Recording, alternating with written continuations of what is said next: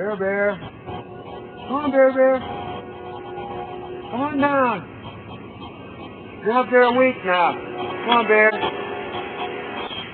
Alright. Bear Bear's been up there since last Saturday. Monday now. I just need some help to get poor Bear Bear down.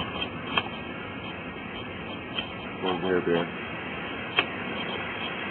Yeah. Nobody's going to seem to help me. I took that rope off there because you guys are gonna get I was looking to my belt. That to the belt. You see a nice job I did.